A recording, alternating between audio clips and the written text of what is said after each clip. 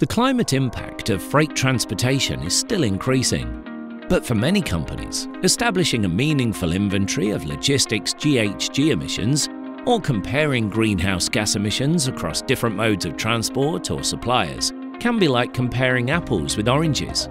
That's why Smart Freight Centre established the Global Logistics Emissions Council, GLEC. Together with GLEC, we developed the GLEC framework, a globally recognised method for calculation and reporting greenhouse gas emissions from trains, trucks, ships, planes and logistics sites.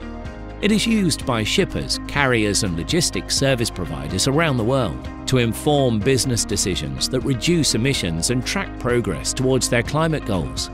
It works with Greenhouse Gas Protocol, CDP and the Science Based Targets Initiative. Join the leaders in reducing the climate impact of freight transportation.